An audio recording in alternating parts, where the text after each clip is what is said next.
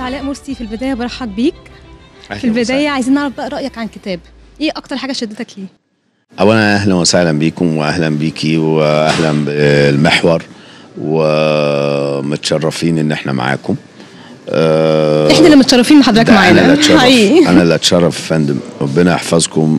آه بصي أنا الكتاب ما تبقى من سنوات العمر للكاتب آه كامل جميل مراد. هتكلم عن الكاتب.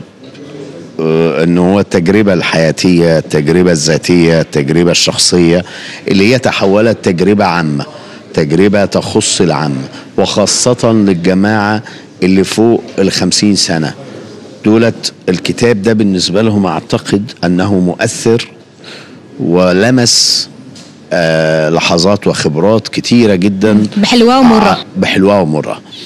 أما الأجيال الشباب الجميل اللي بعد كده أعتقد إن هو بيلمسه كخبرات إن هو بيقرأ بيحس بخبرات. وفي أجزاء من الخبرات الموجودة في الكتاب هي تخص مراحل عمرية معينة في حياة الكاتب.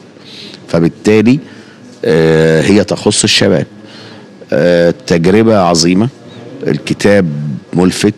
آه، بسميه دايما كتاب يبان من عنوانه. طيب من وجهة نظر حضرتك ليه دايما العمل المرئي سواء آه، مسرحية آه، مسلسل فيلم دايما بيلقى صدى أكبر من الكتاب؟ انت صح انت صح وأمتع والمتعة فيه أكبر على فكرة لأنه انت حرة الخيال.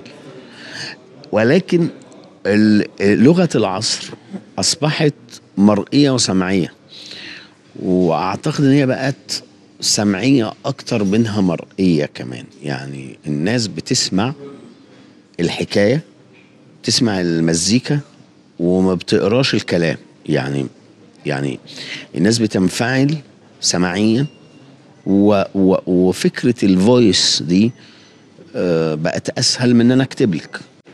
طب هل في كتاب قريته قبل كده ونفسه يتح... ونفسك يتحول لعمل مرئي؟ بصي أنا آه في آه كتاب لشاعر اسمه محمد ناجي كتب كتاب اسمه أنا وأمي.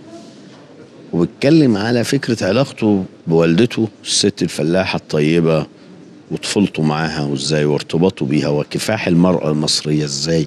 وقفت لحد ما بقى في عندها ضابط قوات مسلحة بطل وضابط داخلية ودكتور ومهندس وشاعر.